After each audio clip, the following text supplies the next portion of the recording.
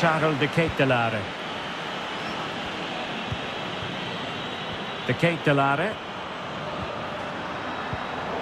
Just the challenge that was required.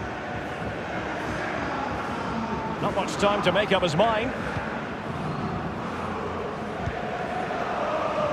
Guevara.